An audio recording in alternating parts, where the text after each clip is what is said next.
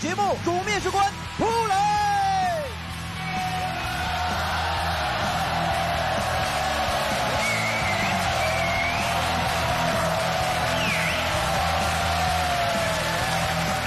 来，谢谢大家，请坐。欢迎来到天津卫视《非你莫属》，我是涂磊。欢迎所有来到现场的观众朋友们，欢迎你们。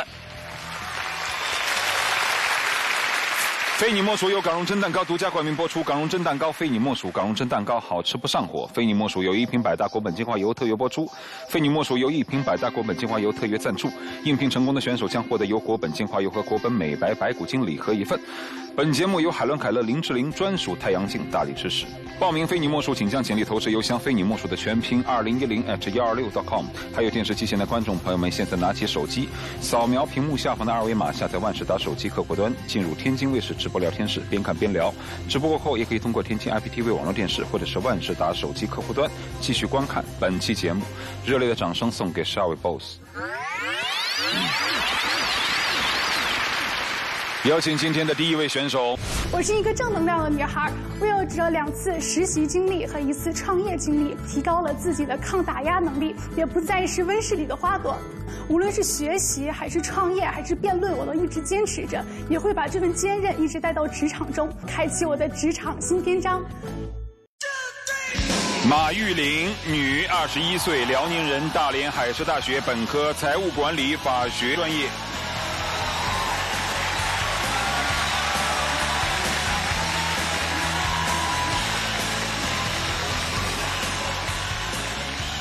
老师好，人力资源专家，十二位老板，现场以及电视机前的观众朋友们，大家好。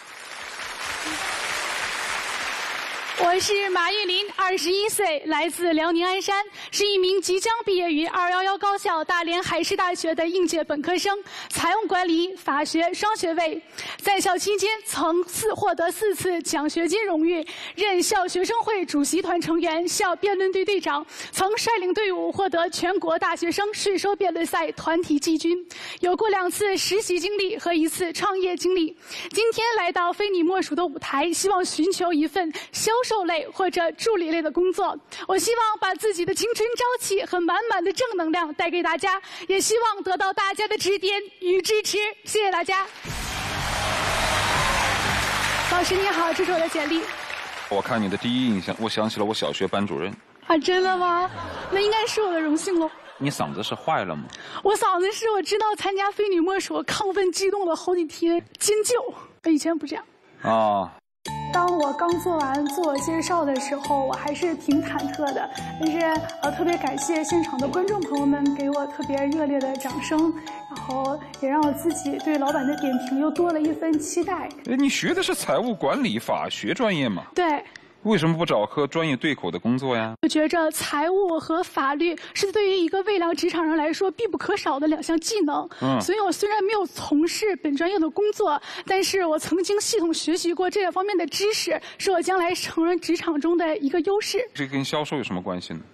呃，但是我大学中其他的一些活动培养了一些能力，更能够在销售这个岗位上发出价值。一次是在教育培训机构做过课程顾问，嗯，业绩怎么样？是在十五名实习生中位列第一名。你有没有这个总结一下，为什么你销售的这么好？首先，第一点，我够勤奋刻苦。首先，我在时间上肯比别人花更多的心思。嗯。呃，第二点，我能够深度挖掘客户的这样一个需求。第三点，亲和力。亲不是外形占了很大的优势。啊，好吧。对对对对。然后第四点是我注重跟客户的一个维系和保鲜。怎么保鲜？就是时常跟成交之后也时常跟他们联系，比如说节假日、天气预报，就是这种生活中的。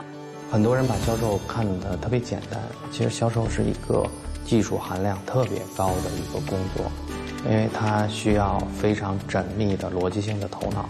我觉得呢，他的相对来讲逻辑能力还算比较强，他知道如何去啊正确的去做一件事情。小马也算给你个建议，因为应届毕业生呢，值得问的就是两方面。一个是读书期间的经历，第二呢就是实习的经历。读书期间主要指学生工作这一块儿，因为这两块儿呢你都涉及到，所以我在想，就是小马，你待会儿在介绍自己、呈现自己的技能和性格的时候，讲你自己能给别人留下印象最深的故事，因为这是各位老板看你的潜质的最重要的依据看思维和来源。方式啊。来之前有没有了解过这些企业？呃，有了解过。最想去哪家？呃，优生教育，啊，还有吗？其他都可以考虑。家里是哪里啊？呃，辽宁鞍山。辽宁鞍山。那你这次就业的岗位地址有没有啊，我希望是在北京，其他地方也可以考虑。对。那你要求薪金多少？呃，薪金我希望是六千。然后销售和助理。助理。对。行。对。我们来看一下第一轮选择，大家会给你留几盏灯。第一轮选择去或留？全留。谢谢大家。天生我有才。天生我有才是啊，一段 PPT。来解释一下。第一部分专业学习是财务管理法学双学位，并且学习的还不错。虽然不是个学霸，但是也表明了，呃，我还能学得进去习，愿意学习，会学习，并且财务跟法律的知识也是我的一大优势。下一页，谢谢。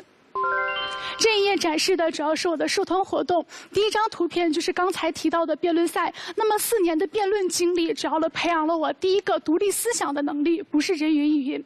第二个是我更加的懂得倾听，因为你只有倾听才知道对方在说什么，自己在说什么。第三点就是一个材料搜集的这些能力，而第四点是最外在的表达能力和临场的应变能力。下一页，谢谢。呃，这个是我两段实习经历。呃，第一第一段的教育机构的销售专员的经历已经说过了。第二段小米体验顾问这份实习，我主要是感悟多了一些。第一点感悟是我第一次感觉到，作为一个销售人员，当你对你自己的产品或者是公司的企业文化足够认同的时候，销售就变成了一种使命、一种责任。你有义务让自己的产品让更多的人所熟知。第二点，我总结是做工作要用功、用心。用情，因为你真的动了感情，把你的客户当成你的亲人之后，当你提供的产品和服务真正帮助到他们之后，那种幸福感是要比签约带来的成就感更能够打动我的。呃，这一页展示的创新创业是我自己做的一个项目，叫做客舍梦之家，它是专业提供高校周边小型客舍订购服务的。它呃，我形容它为昙花一现吧。它成功的原因主要有三点：第一点是我刚开始做的时候，小型客舍还是一片。片蓝海，我们是市场的补充者。第二点是我提供了一些只有我们大学生才能提供的附加服务，比如说对于新生这种优秀学长一对一的咨询服务。第三点就是标准化，把我们的流程进行统一的标准化，使它能够在所有的高校进行复制。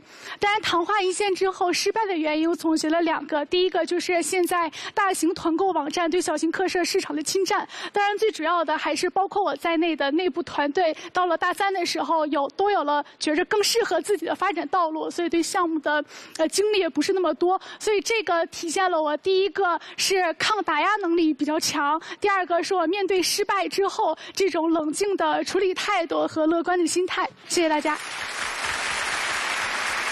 这是我参加非你莫属以来啊，听下来最扎实和最真实的这个 PPT 的演讲。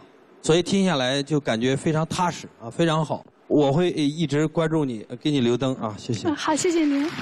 你那个创业项目是什么时候的事儿？这个项目的构思是我从大一入学的时候开始。哇，那你比番茄来了这个这个还早啊！这个创业就说你一二年就有。对这个创业。那你有没有参考什么国外的文献，或者说一些创业的模式？然后。呃，对，当时当时有搜索过一些。有没有完整的一个调研报告啊？有有一个大概在八十页左右的一个创业计划书，它其中包括可行性报告。其实我给这个来面试的求职者提提一个这个小小的建议，就是有的 PPT 是太烂，有的精彩的 PPT 最好把一些附加的文件也带来。其实你如果今天你那个，我们看看你那个八十多页的调研报告，如果里有出彩的地方，我觉得你的底薪不是六千的起薪了，可能是五位数以上，嗯。其实你的这个精彩啊，我感觉你这个复合型的人才在这个年龄实在是太难能可贵了。从你全局的这个高屋建瓴，到你落地的这个复合型的这个知识构架，到你最后能整合资源的这种才能和天分，我觉得也许啊，你不做连锁经营，屈才和可惜了。中国需要你这样的连锁的未来的这个。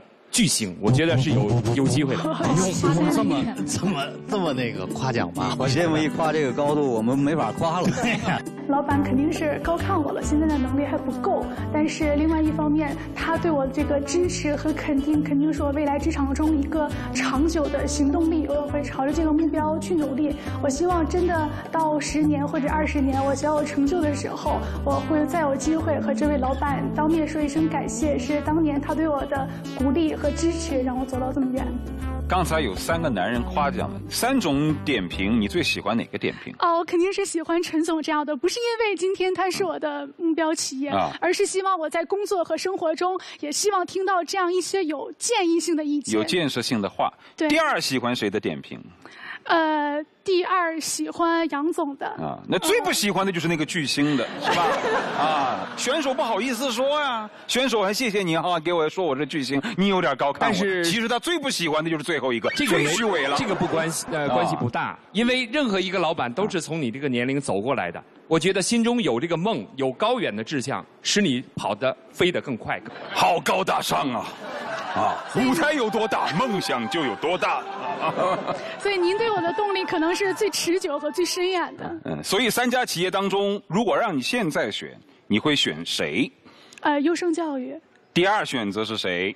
呃，第二选择杨老板这里。第三才会选择他，对不对？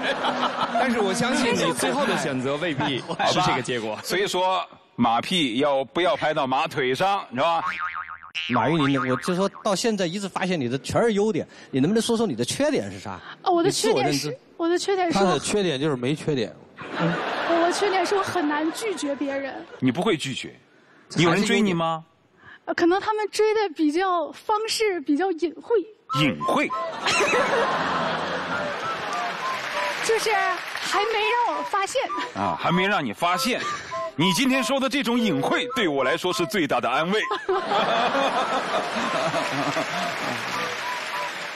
这样，小马，这个看了你的 PPT 啊，听了你的谈话，我觉得你这四年首先是学到了东西了，跟很多人学了四年不知道学了什么完全不同。但是小马，我给你一个一个小的建议啊，就是孙总这种这种老板，尤其是你需要提防的。哪种老板？他这种人呢，就是把你就捧杀了。啊你看刚才是你明明做的不错，但是他说你是巨星，所以说什么事值得你做，这点是尤其需要。就像他这个年龄能把这时间安排这么好，英语、财务再加法律，我觉得真的难能可贵。我觉得这样的人才，我们适当的鼓励和引导是正确的。我们有这个发所以说小马现人才，所以说小马的责任。小马，你是个很优秀的人，千万不要被像孙总这种 这种人给捧杀。这个这个他是真的是在误导你。如果说以往那些追你的人追得很隐晦，今天终于有一位老板追你追得很大胆，是吧就？是考验我是不是真的会拒绝的但是。突然之间受到这样的青睐，你也得小心一点，是吧？来，第二轮选择去或留。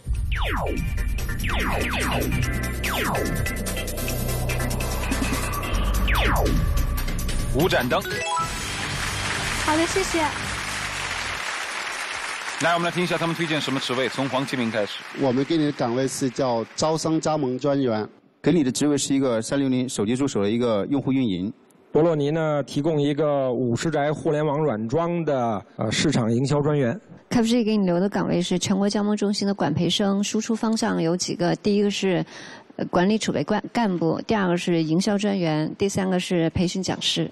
咖啡机欢迎你。好的，谢谢。我给你俩岗，一个是我们总裁办的管理培训生，是希望你去做财务方面的方向的工作，呃，那另外一个是我们加盟连锁事业部的管理培训生，可以往营销方向走。呃，我给你提供的是我们丰厚资本投资的这个超级在线一对一三好网的教育顾问的角色。不管其他的老板怎么看，我希望你能够不放弃你自己的这个走的这个路和选择。我给你的这个职位呢，是目前北京管理公司的啊这个经理助理的职位，因为你前面有你的社会实践和有你的创业经历，未来我就为你特意的给你留出总监助理的特别通道。如果你能够践行你自己的成长历程，让我们看到你的才华，尤其在连锁方面，这个一定是你可以把握的。谢谢。好的，谢谢。你热血沸腾吗？啊，还好。别那么热啊！来，在剩下来的七盏灯当中灭掉五盏，留下两盏，做好准备了吗？嗯。从今天开始学会拒绝，因为不会拒绝是一种廉价的善良。去吧。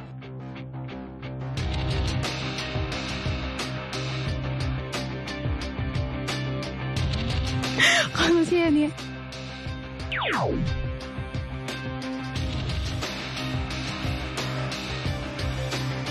哦，你好，谢谢你，谢谢你，林总，谢谢你。再面一战，他到底会走向谁呢？陈哥，谢谢你。哎，有请孙明、陈浩谈钱不伤感情。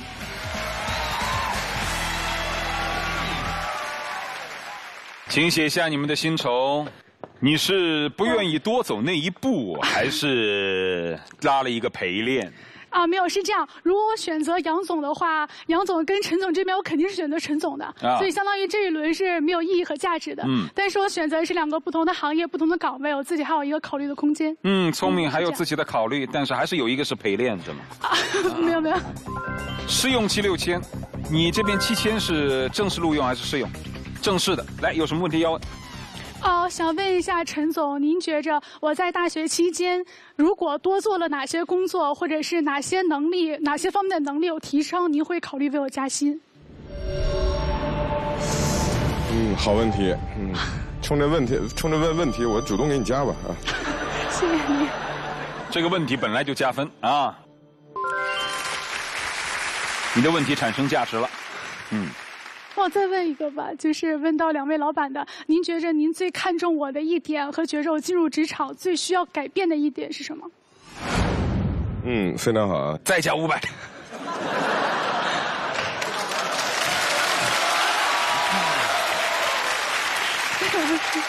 其实他们加钱是因为回答不上问题。我真的这个图来，我真是因为也录了这么多年了，我觉得就就在这个环节问问题有水平的，你还真是第一个。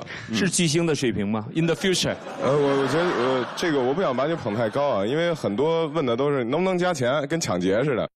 你这个问的还有技术含量。来，两位老板回答一下吧。你最看重他的一点和觉得他身上需要改变的一点。你身上唯一目前的我认为的不足，就是你把你的资源整合的更熟练，这个需要你的一个历练过程。当然，其他方面的不足，可以在实践中去慢慢补起来。其实，因为管培生培养的几个核心能力，比如说组织能力、语言能力、沟通说服能力，啊，还有创新能力，这些我觉得你已经在大学期间其实已经储备了。因为我我本身觉得学财务对数据的这种敏感和掌控，还有你学法律的严谨，又加上你对销售的兴趣。我觉得其实你未来去做一个项目管理是很基础的起点，好吧？好。所以我觉得你问的这个问题本身就是一个有价值，说明你是带着问题去工作，非常好啊。我不能再让你问问题了，再让你问问题又得涨钱了，没有问题了啊！十五秒钟时间考虑一下。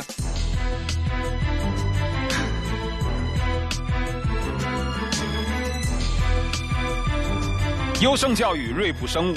或者是谢谢再见，你的选择是？我的选择是优胜教育。七千元的薪资迁入到呃优胜教育是管培生的岗位，呃也是符合我的第一印象，也满足我对职场最开始的期望。我会带着各位老板的期望，开启我的职场新篇章。家庭生活让我学会了分享与承担，学校生活让我学会了合作、尊重、乐观，懂得了如何把握机会。曾经在酒店做过服务员，本科的时候创过业，卖过路由器。我够努力，够认真，我相信有志者事竟成。韩慧，女，二十五岁，河南人，河南农业大学本科毕业，在读硕士，日语笔译专业。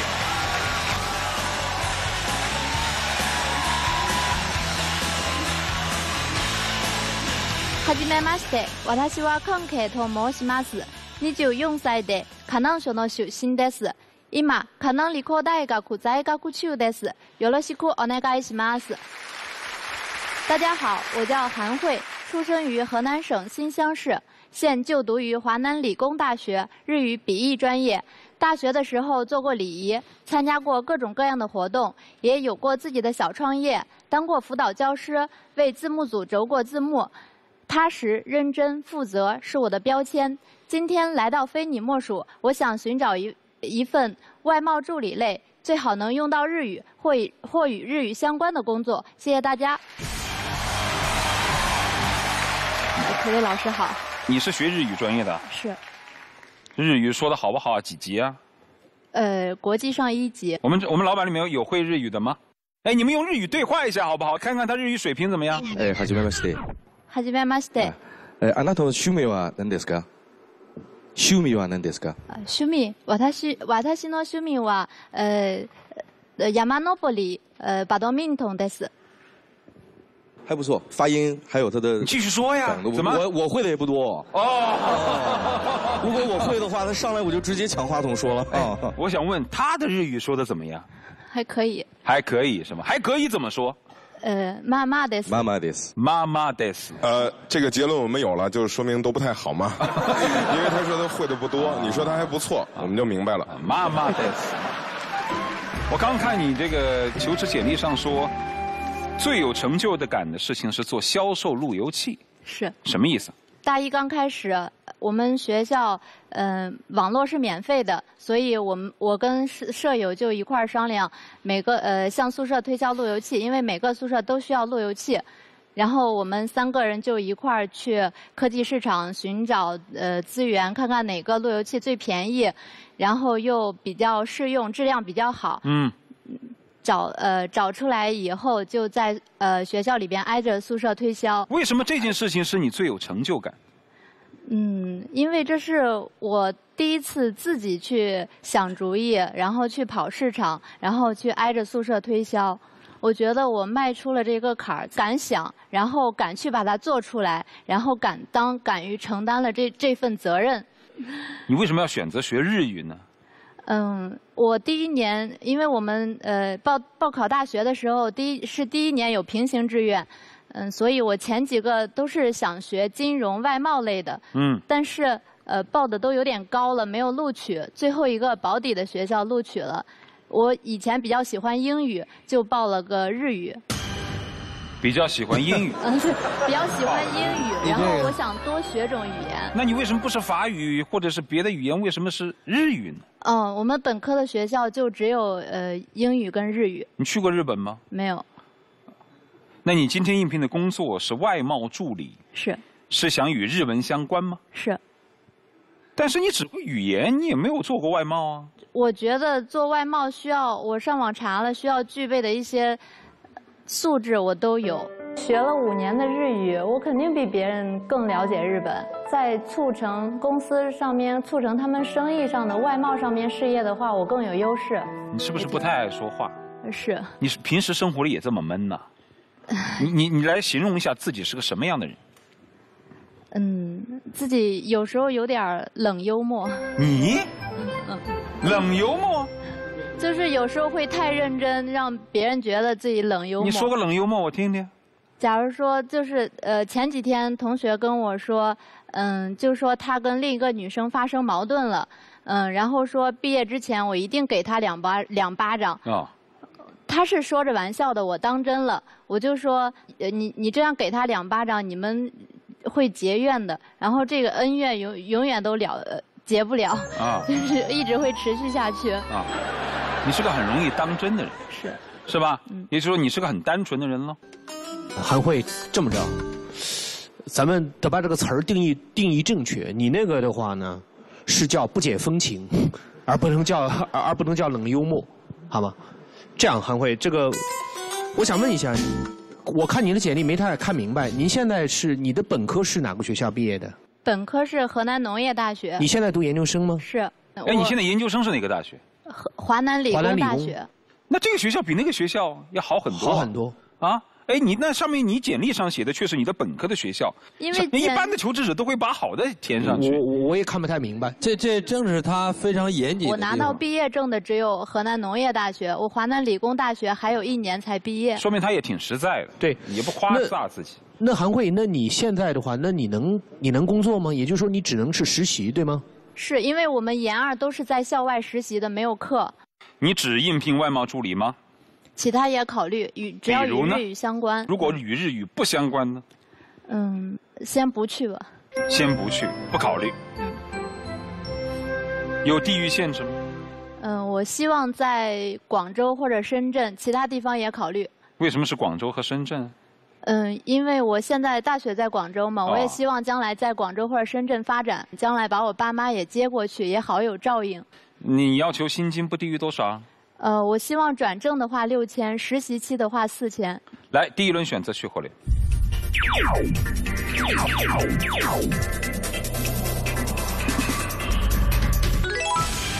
都是没有岗位是吧？哎，也没有日语相关岗位，也没有广深那边的工作。来，天生我有才。其实我看到他第一页就是学习篇的时候，他自己自考拿了一个计算机证，然后没有报任何复习班，自己考研也挺顺利。其实他挺有能力的，你放开一点哈。哎，你现场卖个路由器看看，好不好？卖西莫的路由器，卖给陶伟华。来来，卖给他，卖个路由器给他。不好卖的啊。我看看你平时销售时候是什么样的。学姐你好，学弟你好，我是咱们学校外国语学院的韩慧，我现在大二。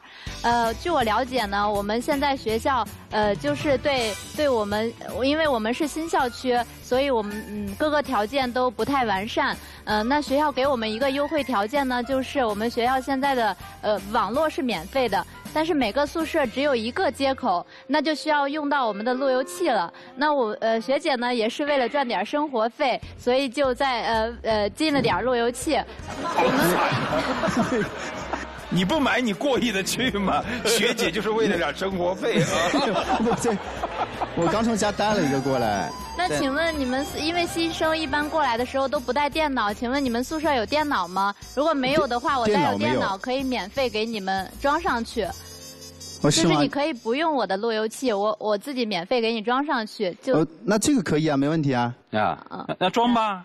那你给我装吧。等等等等等，装完了。装完了，谢谢学姐。啊，装好了，然后你试试，你们都试用一下，呃，看看连上顺畅不顺畅。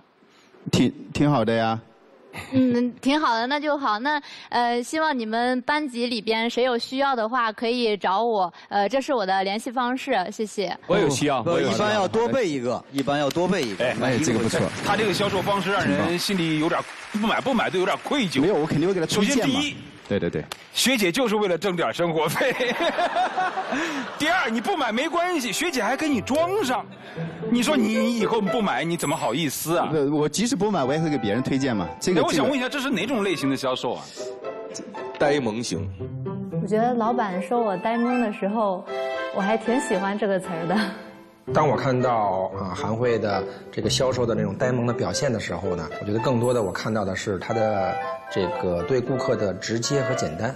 但是直接的和简单的背后呢，是他的专业训练不够。这个东西是可以通过后期能力弥补的。现在的销售呢，有太多的人教人技巧，甚至呢是一些骗术。但这个呢，一个中等智商的人都很容易发现。韩慧这种做法呢，就是他是很坦然，就说的很也不说什么高大上。为了方便你，我给你有什么利益，我就告诉你，咱就是为了混口饭吃，挣点生活费，对你有帮助。我觉得你这个卖法里面呢，忽略了就是咱们西莫这个产品的它这个内涵的价值，对对吧？就是说你没有充分的把这个显示这样这样，我我把我这话说完啊。首先呢，就是说两个问题，第一个呢，你该提高的技能还需要提高。第二个的话，我要说的呢，韩慧这个本真啊，非常的，我觉得是非常好，就是这种的这种的话，给人一种非常踏实的感觉。你都要坚持，注意一件事儿，老实人不吃亏。嗯，我觉得你是属于那种，就是给人感觉很实在，没有问题。但这只是一部分，其实还有很重要的一部分。刚才其他老师讲的，就是你要了解产品特点、客户的需求，这个才是打动客户的最本质的东西。哎，这但是你你说做一个销售踏实一点好，但太踏实了的话，你你会不会有什么说什么呀？我也不会，就是你说过谎话没有？你说过谎没有？善意的谎言有过。你这样，我帅不帅？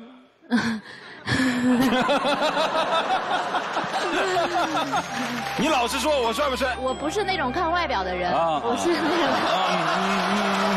你看，哎呦，我就不相信有那种不会说谎的人，但是你确实是相对于板一点儿而有的时候确实是什么环境说什么话，倒未必要说假话，你可以选择不说，但太直了也不行。你说呢？我就吃够了这个太直的亏呀、得罪了好多人的，你知道吗？但是会有更多人喜欢你，你拯救了很多人。我我拯救了很多人，但是你拿什么来拯救我呀？我想跟你确认一下，就是说你除了这个日语相关的职位，其他全都不考虑吗？我觉得我必须要用到日语，因为我学了五年，不能白学。真够较真儿的。嗯。我学了五年，投入这么大的精力，我不想把它放弃，我想让它为我所用，嗯，为我带来价值。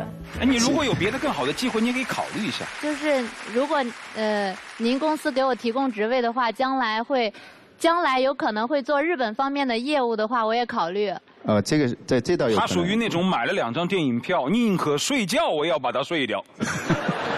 阿慧，你这个。你的 major 是日语，那你的英语是第二外语。是。呃，就从我看上来，我没有看到其他老师说的，你比如说你的呆萌或者什么的，就是我看到的那个专家的那个那个风范，而且是本色出演。那我问你一个问题，就你本科里学的是在农业，河南农业大学。是。你有没有接触过跟农业，比如说嗯兽药或者畜牧相关的这些事情？还是就是语言学，在本科的时候没有，但是我家就是种地的。他是说你养过生养过狗没有？这个小宠物，啊，不是种地，不是啊，你喜欢吗？我不喜欢。他不喜欢。喜欢养他真的直啊，他太直了。你看，他说我不喜欢。韩慧，我导师给你一个建议：如果你光光一定要用日语的专业的话，在现场肯定机会会很小。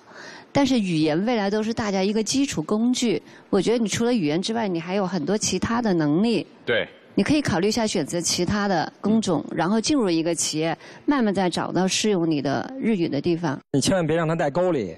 你五年的日本日语的绝对算是你一个特长。日语的用途是很多的，至少我这儿有非常多的关于日语的这个工作岗位。我觉得他的选择是非常正确的，因为他的其他的能力并没有明显的与众不同。但是他五年的日语，我认为恰恰是他的优势，他应该坚持这个。来，第二轮选择去火流，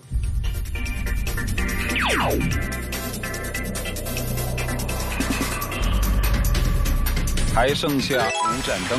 韩慧，我给你的是我们电商专员，工作地点在广州，给你的那个工作岗位是那个用户运营，这边的话工作地点是在北京。与日语有关吗？我想问一下。呃，目前跟日语无关，但是未来的话，我们有可能会做海外化。谢谢。啊，我有一家公司呢，叫花不完，是专门针对日本的培训和共跨境电商的，做翻译。前期呢是在北京。好，谢谢。那么 KPG 现在给你留的岗位是创新业务部的研发经理助理。我们在产品研发和设备研发上会从日本那边截取很多元素。那在这方面可能能用到你的日语，或者有机会去日本出差。那咖啡机欢迎你。好，谢谢。那我在瑞普生物给你提供的职位呢，就是这个贸易部的主管的这样的一个职位。地点，地点呢，总部在天津。那我想问一下，跟日本的合作多吗？应该是非常多的啊。应该是非常多的。这这是是是是。我就这样明白的问你，他的工作内容有百分之多少跟日语相关？百分之一百，就是你要百分之一百。完全可以只用你的日语的，当然你要学一些专业的，比如说这个疾病的啊，和这个宠物的这个行为学的等等这些方面的啊。那我们后面再交流。你是个说实话的人，你觉得他刚才说的是真的吗？我觉得不会达到百分之一百。对对对对对。Ninety nine nine nine percent 啊，做一个诚实的人啊！来来来，在接下来的。五盏灯当中灭掉三盏，留下两盏，好好考虑一下啊，去吧。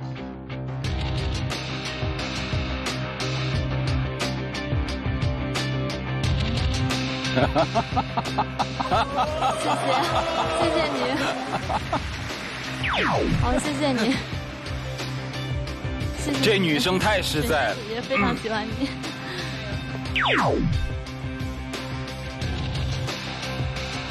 谢谢你。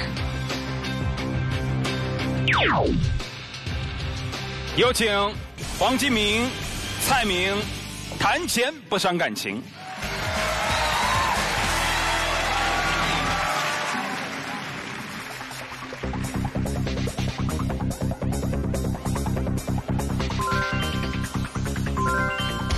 来，有什么问题要问吗？呃，请问您后期会给我在广州或者深圳的职位吗？我们的北上广深四个城市。会做落地的培训，黄金明有点担心了。其实你最大的优势就是因为在广州。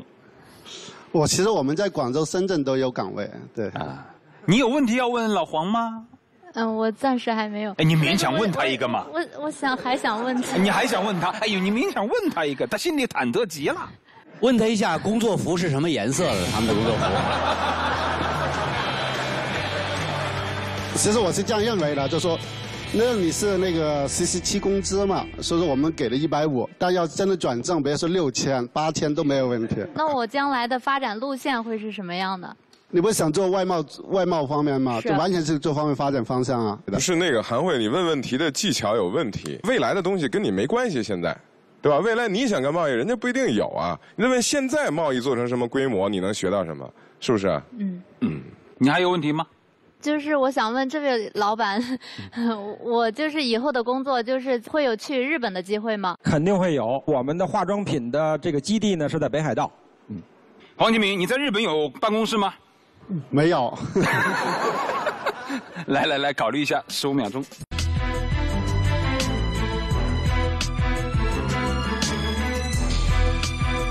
西莫科技、博洛尼，或者是谢谢再见，你的选择是？博洛尼。去吧。六千块钱一个月，嗯，我觉得，呃，除了日语，我其他方面都很薄弱。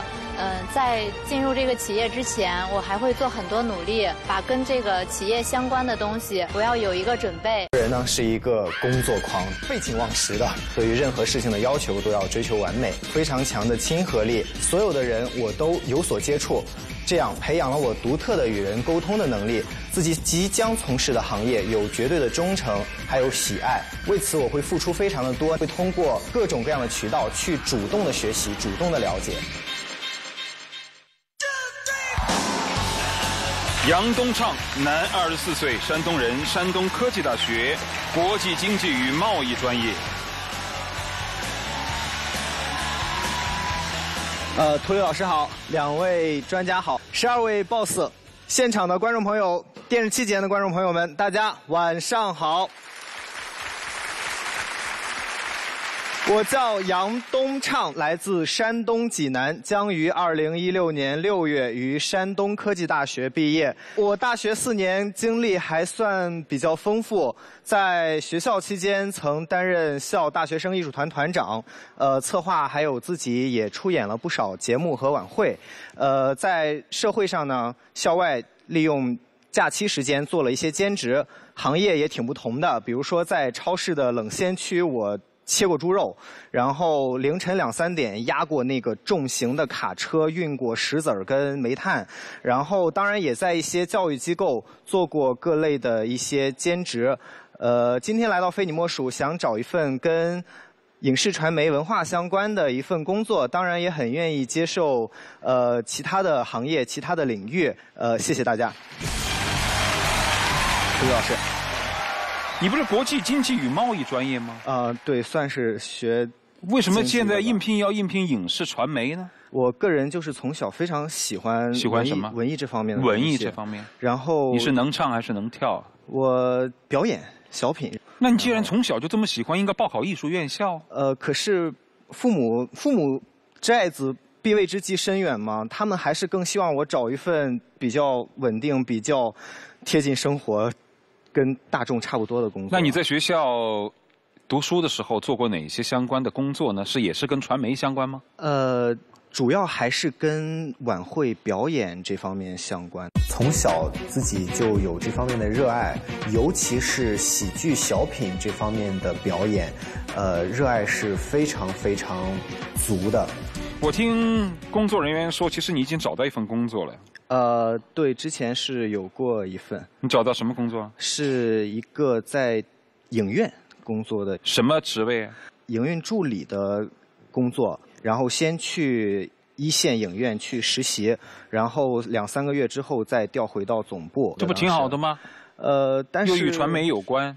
在近大约几年之内，还是卖电影票管电影院似的，跟电影和传媒其实关系不是特别大。那你想做哪种传媒呢？比如说，可以做电视剧或电影里面插入广告，给一些创意，啊，我能比较顺利、比较平和的给它插进去，和谐的植入广告。对，植入广告。除了这个呢，这只是一小项啊。呃，然后再就是说，可以自己去表演一些东西。哎，你能不能现场表演一个东西，把我们这现有的牌子都植入进去？咖啡之一啊，优胜教育啊。啊，我我简单构思一下行吗？哎，你简单构思一下，植入的品牌越多越好。这样，请涂老师配合一下。我配合，你找个人配合吧。找，哎，你随便找个人配合。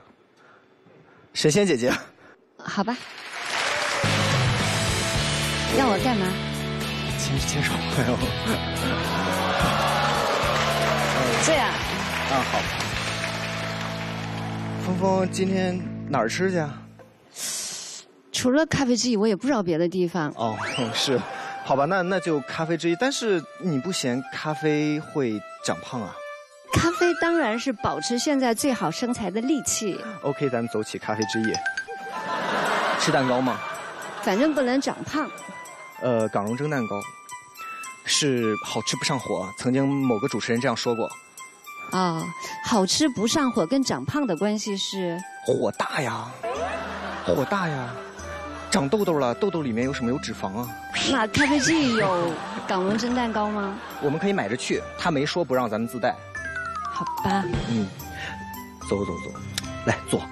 椅子不舒服，哎，服务员，你们这这这这哪儿买的沙发呀？这是哪儿买的沙发？博洛尼的。博洛尼的？开什么玩笑？山寨的吧？博洛尼的沙发哪有这样的呀？那光头做的沙发就这样。对，博洛尼的沙发就是设计感好，看着漂亮，坐着不舒服。坐着不舒服是吧？我觉得咱们咖啡之翼其实他们可以自己开发这个品牌。没关系，我们博洛尼最近植入了西莫科技的智能科技。哦，你的意思就是一不舒服的沙发植入了西莫科技，坐上去就就可以按摩了，坐的对，坐的舒服，就像你摸黄金明的手感是一样的。对，我不要坐了，那我不要坐了，不要坐了，那咱走吧，这是。呃，就就这样，我极限了，这现在是。博洛尼还是我帮你植进去的是吧？嗯啊。哎，这儿有本书不错。有本书不错，哎，看看是哪个发行商发行的，这是。啊。嗯。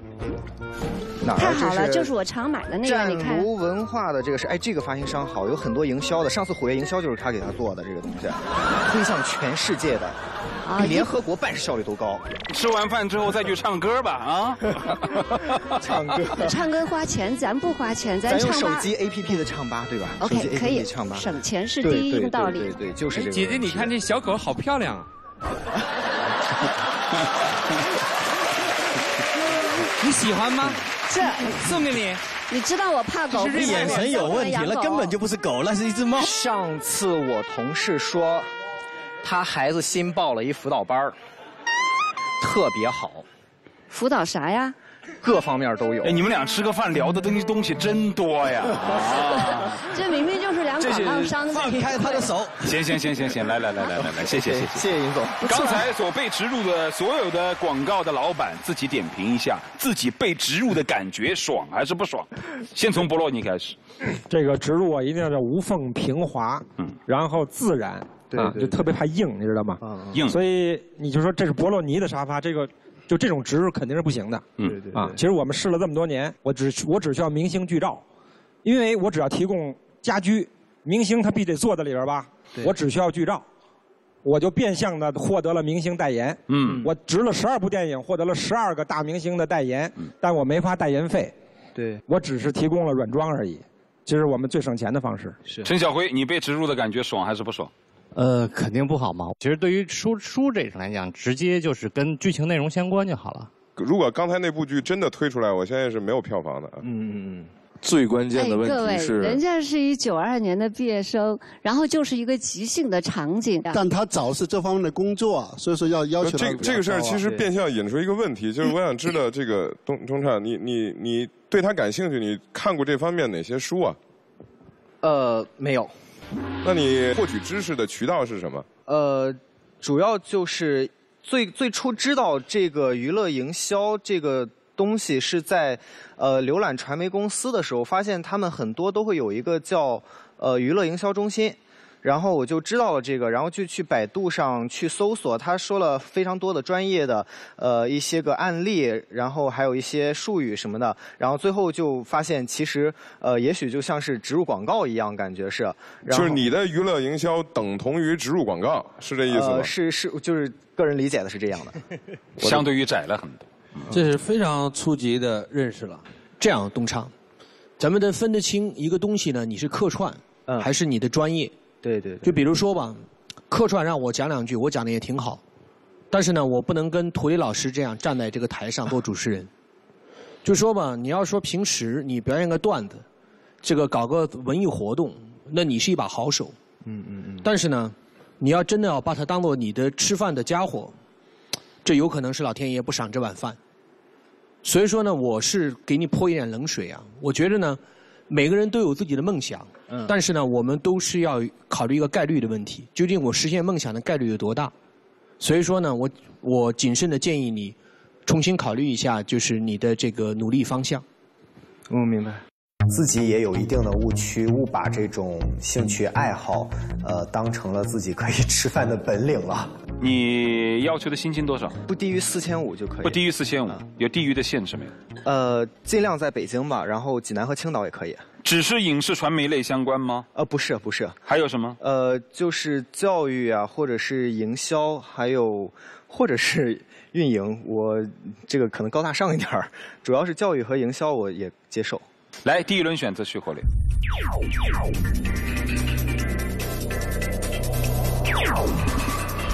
还有九盏灯，天生我有才。这个你这个不切实际的这个影视类的梦想啊，我也是建议你放弃。嗯。再有一个呢，我觉得人生很漫长，你今天想做的那件事情，未来不一定是你未来事业成功的那件事情。对。所以我觉得你初入职场呢，应该找一个企业哈，先见见世面。嗯。找一个老板，先跟他学习一下，这样呢，逐渐让企业发现你身上的特质。嗯嗯，那这个我倒不同意啊。这个我觉得有梦想一点错没有，对吧？而且你也不也不是说他就不能实现。方丽老师多大岁数才开始拍电影啊？对吧？前几天六十多岁了，还还为了电影给大家跪下呢。我觉得你比他年轻，你更有资本，但是资本不是让你浪费的。你如果真想去那行业，你得做准备才来。这场面试你是失败的，不是说你的梦想是失败的。我同意陈浩的意见是在哪儿呢？就是说，在这个舞台上，经常会看到我们经常在说，有很多的大学生，呃，脑袋空空，不知道自己未来要干什么，这是一类。对。那另外一类呢，像你这样的，我觉得挺好的，就是咱姑且不说你你的追求的目标是对还是错，或者能不能成功哈，那你至少有一个明确的呃目标。但是，呃，就是我的概念里头。其实，如果你要有这样明确的一个目标，那么你其实上是可以通过自己的努力，至少获得面试机会是没有问题的。嗯只要你去动脑子，你只要是去准备，做好相应的准备，无论是从简历还是行动方法，你完全是有能力获得面试机会的。但是，我觉得你只是在想，没有真实的付出啊。我之所以第一个环节给你留灯，其实是给当年的我自己留灯。你的专业，包括你喜欢的这些事情，在大学做的事情，其实和我当年几乎是一模一样的。但是我和你之间那个区别，就是我在你的这个时候，我就知道这些东西最后不可能被一个真正的公司所看中，因为你在大学里边怎么玩怎么闹，你想让公司拿这个当做录取你的点，这是很难的。除非你想走艺人的路线，但是说实话，这个可能比起艺人来差远了。这个我知道。对对对，所以我觉得我要给你一个个人建议的话，你现在如果想向影视传媒发展的话，影视传媒其实有很多的口你可以往里边进，比如说你想的策划，比如说你讲的这里边影视的编剧，比如说像甚至是像摄呃摄像这种技术，你都可以专门找一个口，强化自己的技巧，打入到那个体系当中去，然后再展开你的梦想。但是现在你最大的问题是你很想做一件事情，可是你没有武器，嗯，你怎么进去？相反，我觉得东畅以前的经历很有很有价值。模式团新成员杨莹，眨眼独立服装设计师平台董事长兼 CEO。眨眼网致力于打造一个基于移动互联网、由第三方服装设计师入驻的眨眼原创时尚女装 O2O 电商平台，目前实现了用户百万级的突破。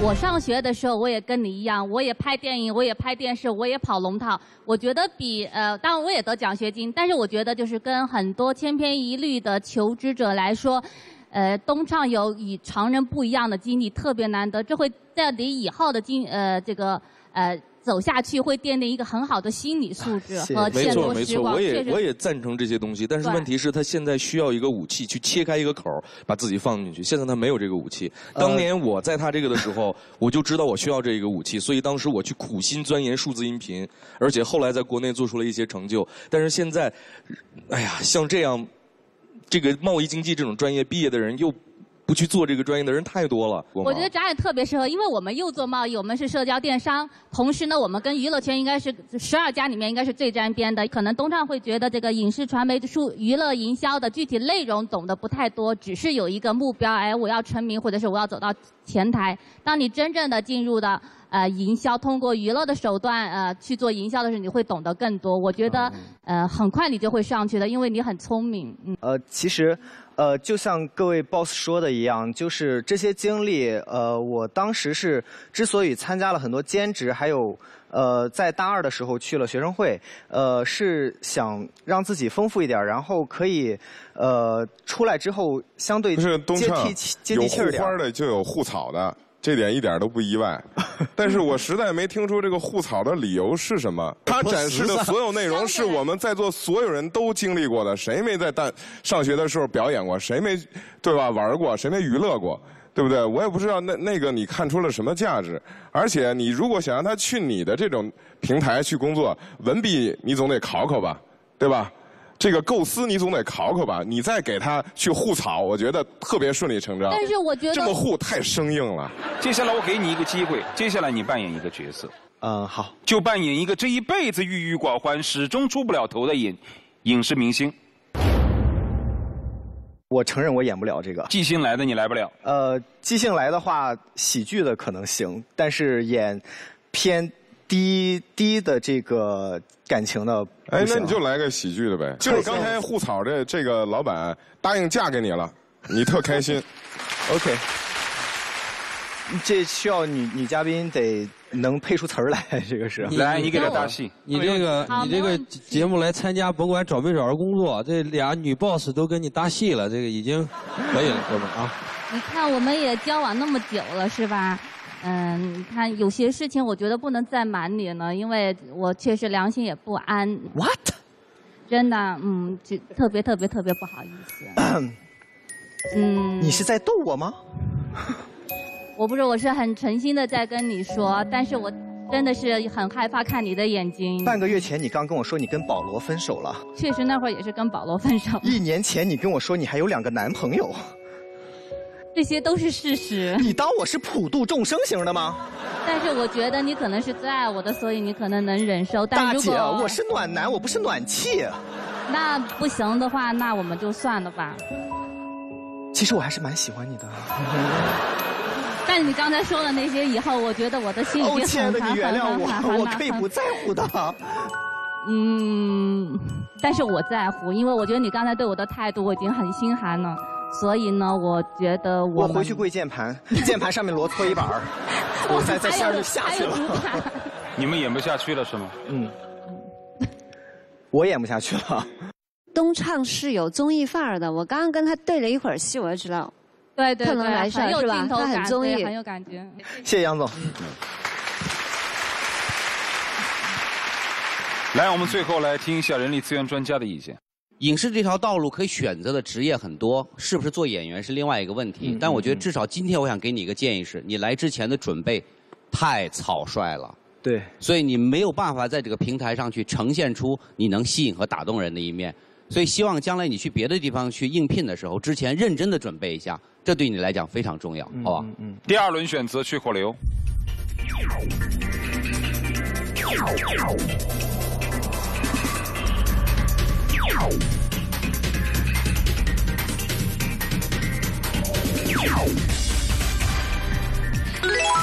还有四盏灯。来，黄继明提供职位。我给你的是北京的销售经理，这负责我们负责北方区的招商加盟。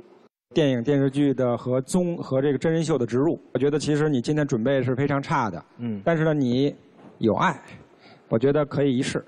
那我想给你的职位是呃市场部的啊一位专员的这样的一个职位，谢谢。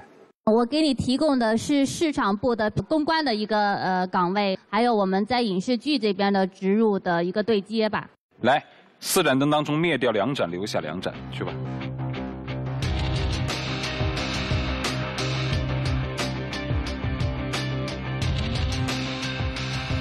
谢谢你，黄总。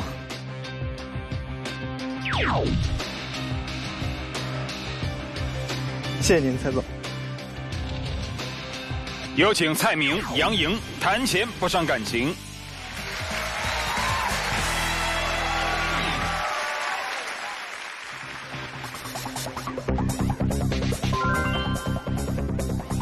有问题要问吗？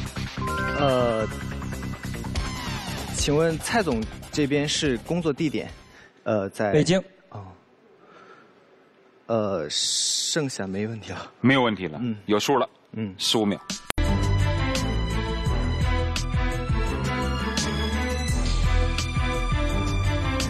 眨眼、布洛尼，或者是谢谢再见，你的选择是？我选择谢谢再见。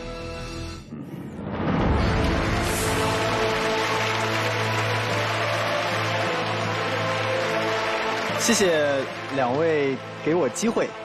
呃，第二是我还是需要一个时间去沉淀一下，去想一想我到底要什么这个东西。所以说，呃，让两位失望。呃，同时也非常感谢。电影电视剧的植入的这种方式来切入这个行业，针对他来说是非常非常，哎呀，这这太适合他的一个一个一个内容了。其实我也是给你一个机会而已。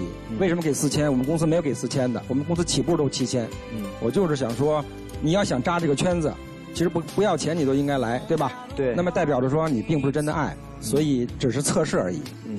呃，我觉得我一直觉得他应该在班上是一个很特别的人。然后不管怎么样，然后祝福你以后能找到自己喜欢的工作。谢谢杨总。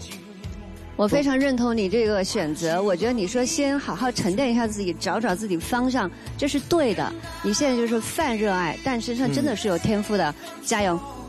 呃，我的确也是对自己没有一个很清楚的定位。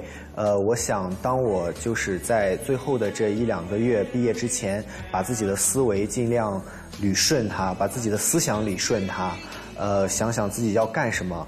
呃，也许到时候我还会有一个更明确的目标。人生如戏，全靠演技。如果真的人生如戏，全靠演技，那么戏如人生，你就不用当真了。如果你要真要当真，你就好好演；如果你真不把戏当真，那你就干脆找份养家糊口的饭吃着。再见，谢谢涂磊老师，拜拜。他是我的爱好，来呃，抱着一个侥幸的心理，呃，试一试，静下来，好好的想一想，到底往后应该怎么走这个路。应该找什么样的工作？我是那种闲不住的人，一股脑的就直接往前冲，我就跑到武汉去做了餐饮公司，是一个对事业有热情、不甘平凡、不甘落后的一个人。我从来不会后悔自己所做过的，只会后悔没有做过的。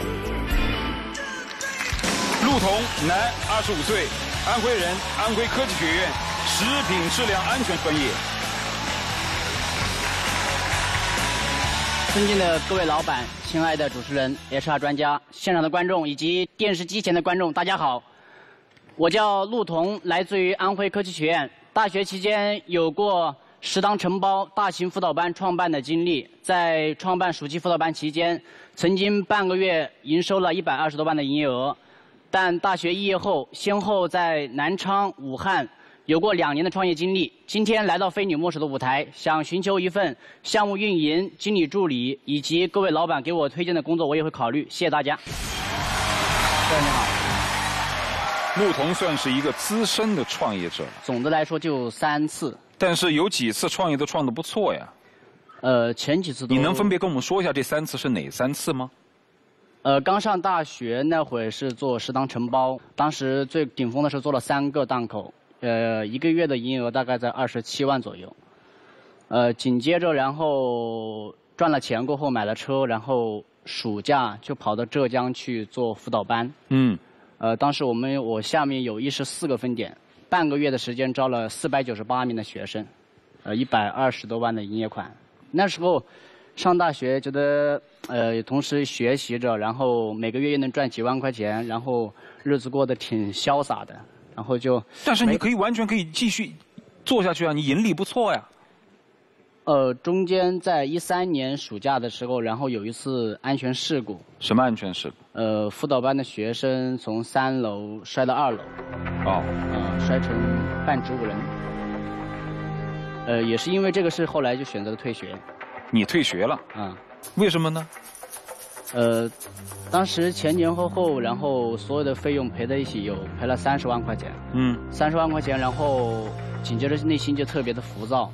嗯。特别浮躁，然后不想在学校里面待了，然后把车卖了过后，然后一股脑子就跑到武汉去注册了一个餐饮公司，然后就想着怎么就把那个赔的钱赚回来。那你现在没毕业证了？呃，没有。你是属于肄业。肄业。啊。后来去武汉了，干什么呢？呃，做企事业单位的食堂承包。我又开始创业了。啊，对。干了多久这个？这个就一直在做，现在还在做。啊，现在还在做。是我母亲在那里打理。啊，现在是你母亲在打理。对。你现在在干什么？在武汉注册的公司的时候，然后做了一个互联网外卖。嗯。当时在南昌对接了一个投资人，那个投资人就要求在南昌本地，在南昌本地操作，然后在南昌注册一家新的公司。后来就呃，武汉的公司跟那个投资人两家公司合伙注册了现在的南昌呃这家公司。投资多少钱？呃，当时他的呃种子轮是投了三十万，然后我这边启动的话投了二十万、五十万。现在经营的怎么样？现在项目是今年的三月三月底就已经呃所有的都已经终结掉了。为什么呢？从一刚开始，我们呃战略上面想做平台，紧接着呃不是一条路的话，我们就做了一个品牌快餐，做了品牌快餐，然后我们自己那时候。不像现在配送还有这么的完善，我们自己自自建配送团队，到后来，呃，每个月的每个月要发十多万块钱的工资，最后钱都没了，后来就没了。也就是说，你是两次创业失败的经历，还有中间那个现在还在干。啊，对。你为什么不选择再次创业呢？你跑这儿来应聘干什么？失败次数多了。就要想想原因，想想原因，觉得还是自己这些年就老是在自己的那个跳框框里面跳啊跳，跳啊跳，嗯，就感觉在井底之蛙一样。还想来学习？呃，是这个态度。还会创业吗？五年之内不会考虑。到这儿来，你有哪家企业是你最想学习的呀？呃，优胜教育，呃，咖啡之翼，还有一个活跃营销。那你这次来要多少钱呢？呃，六千加。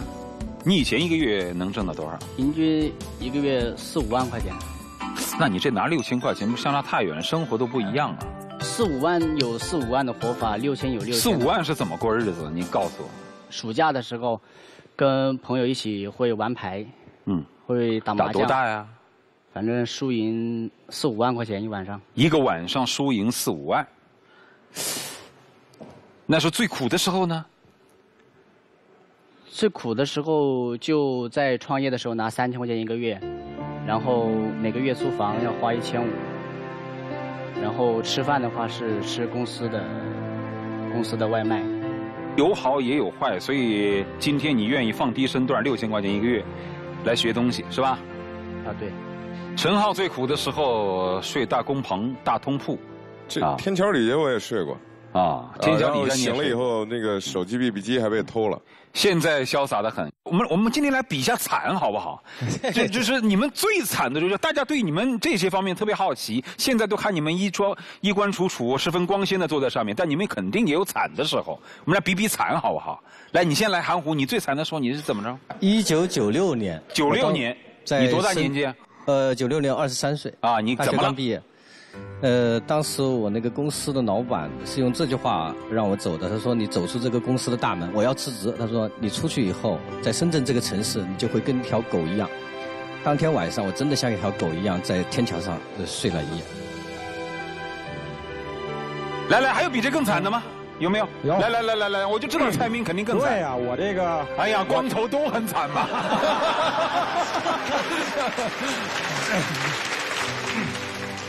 我创业的第一年租了一门脸儿，就是窗户它要装，但是没钱了。于是我怎么办呢？我就睡在我那个老板桌一个桌子上，正好那天下大雪，那雪花啊全飘到我被子上了。早上一来一看呢，我一个雪人儿寒冬三月，雪花飘啊！老板桌上一人扛，所以说为什么让他们说说自己最惨的时候，让大家感受一下，老板也是人，老板也吃了你们不能吃的苦，所以今天才能够能所不能。所以说，你听了他们的惨之后，你那惨不算什么，对吧？要想能人所不能，忍人所不忍，这是相匹配的，是的，好吧？好，第一意向岗位是干什么？呃，项目运营。项目运营有第二意向岗位吗？呃，助理方面的。五年之内不创业，啊，对，是吧？来，第一轮选择去火流。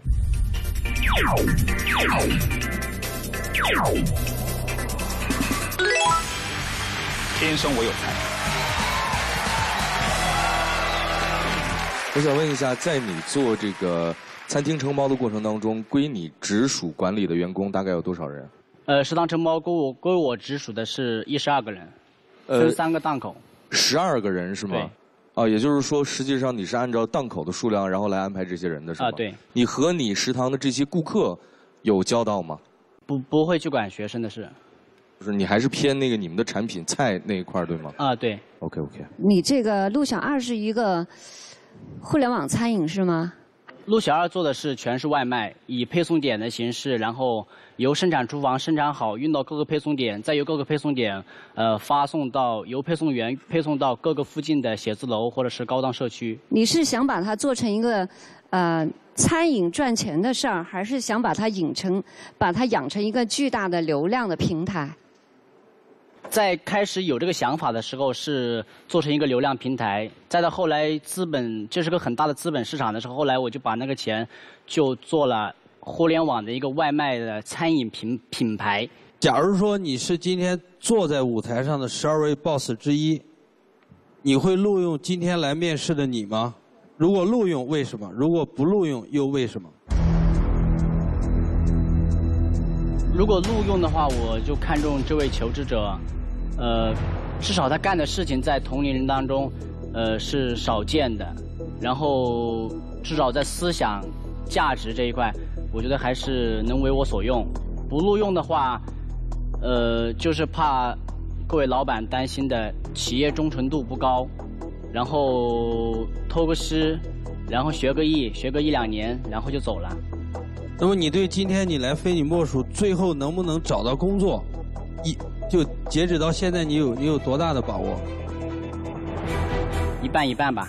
这个是他目前真实心理状态的一种反应，啊，因为他现在被连续几次创业，已经几乎把自己的信心啊，我想可能已经击溃了，所以他现在是一种比较悲观的、无奈的一种一种心境。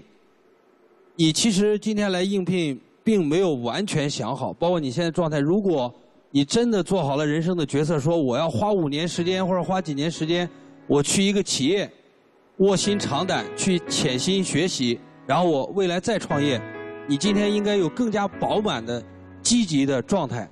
更重要的是，你去反思很多问题，在你有成熟的想法之后，再决定真的是去就业还是再次创业。我觉得这比你比较匆忙的去做今天的选择更加重要。企业肯定会担心说，呃，企业仅仅是跳板，还是企业真正能把你用到？没有人有义务给你一份好的工作，你只能优秀到自己不能被忽视，才可能获得这样的工作。你你有想过找工作这件事儿吗？或者你研究过如何找工作吗？呃，不好意思。其实对于你来讲，现在第一个要学的技能是找工作这个技能。是没好好考虑过找工作这个事情该怎么去做啊？不是因为你看起来不像个冲动的人，但是你又异业，对吧？又连续创业，对吧？但是跟你的整个的个性的反差很大。嗯然后你又再次没有做好准备，要到职场了，这个不是还是失败的前兆吗？你认真总结一下，从经营的角度上，你觉得创业失败的原因是什么？第一，呃，生产厨房这一块由一个很专注餐饮的人，然后来负责管理，我这边可完全可以放开。第二个，市场拓展，呃，对市场的了解程度一定要非常高。呃，至于这个市场能不能养活你，能能不能，比如说我们之前在南昌做的，我们整个的我们中午高峰期的时候卖盒饭的份数也不会超过一千份。呃，所以市场的那个市场的市场量有多大，这个是需要去了解。其次，我们后来紧接着要走高校食堂，高校食堂档口还是回归我以前。其实做高校食堂档口，由食堂档口，然后建立配送点，同时在线下实体卖的时候，然后同时往学校食堂里面、学校宿学生宿舍里面送的时候，这是个很好的一个闭环，呃，闭环生态系统。所以，呃，这是我接下来如果是再有这个资金注入的话，我会考虑这个三个方向。来，不再问问题了。第二轮选择去或留。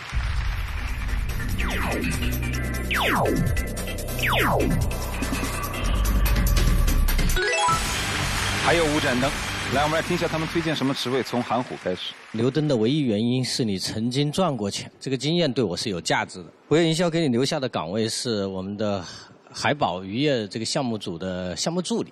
失败不是你死亡最接近的事，没有激情才是你死亡最接近的事。希望你能够到了虎跃以后找回你的激情。我留给你的职位呢，是我们运营部啊经理的助理职位。我现在给你的职位是那个三六零手机助手的一个运营部的那个项目运营的负责人。同时的话，因为我们公司比较崇尚那个内部创业，所以未来的话，你其实可以有这样内部创业的机会。那么我为你提供的岗位呢是，呃，北京地区，呃，连锁店的实习店长。期末给你的是我们北京的，呃，大客户销售经理。五位，啊，考虑一下，灭掉三盏，留下两盏，这是你人生当中可能最重要的一次抉择，比以往的创业还要重要，好吗？好，去吧。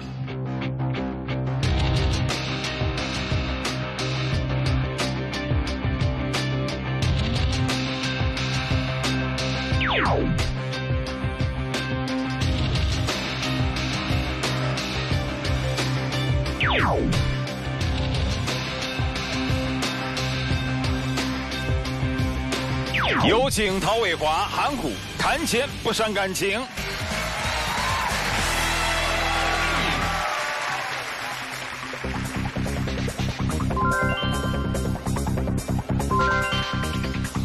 来有什么问题要问吗？没有了，真没有问题了。没有，十五秒，他心里有数啊。三六零手机助手，虎跃营销，或者是谢谢再见，你的选择是三六零，去吧。三六零说过可以内部创业，可能这是我后期呃会走的一条路。非你莫属由港荣蒸蛋糕独家冠名播出，港荣蒸蛋糕非你莫属，港荣蒸蛋糕好吃不上火。非你莫属由一瓶百搭果本精华油特约播出，非你莫属由一瓶百搭果本精华油特约赞助。应聘成功的选手将获得由果本精华油和果本美白白骨精礼盒一份。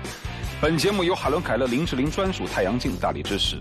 报名非你莫属，请将简历投至邮箱非你莫属的全拼二零一零 h 幺二六 .com。谢谢大家的陪伴，下期节目不见不散。